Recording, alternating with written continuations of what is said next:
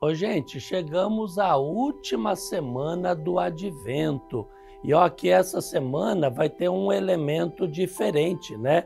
No dia 24, pela conjunção do calendário, é ao mesmo tempo vigília do Natal e é também o último domingo do advento. O mais importante é que a gente viva intensamente o significado deste tempo que nós estamos vivendo. No dia 24, nós celebramos ao mesmo tempo a vigília de Natal, da parte da tarde e noite, e celebramos também o quarto domingo do advento. Se recorda, ó, falei quatro personagens. Já lembramos de Isaías, de Maria, de João Batista e hoje nós temos que recordar de José, o homem que também deu o seu sim e se tornou o baluarte da Sagrada Família.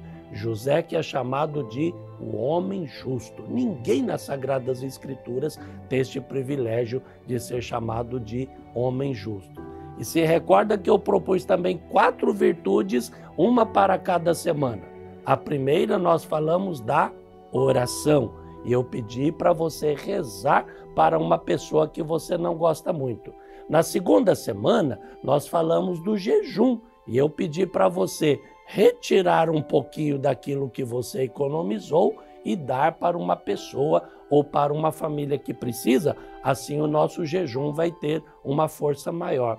E na semana passada eu falei do perdão e da sua força libertadora, tirar esse negócio de dentro de você para que você viva melhor. E hoje é a virtude da solidariedade. Tempo de Natal é tempo de solidariedade. Enquanto você estiver aí na ceia com a sua família, lembre-se que muita gente não poderá celebrar o Natal, a começar daquelas crianças inocentes lá do Oriente Médio que estão sendo bombardeadas. Né? Então, não se esqueça neste Natal de abrir o seu coração e as suas mãos que mais precisam de nós, tá bom? Obrigado por você ter acompanhado essa reflexão, mas continue ligadinho, ó, a12.com/rádio ou então pelas nossas redes sociais.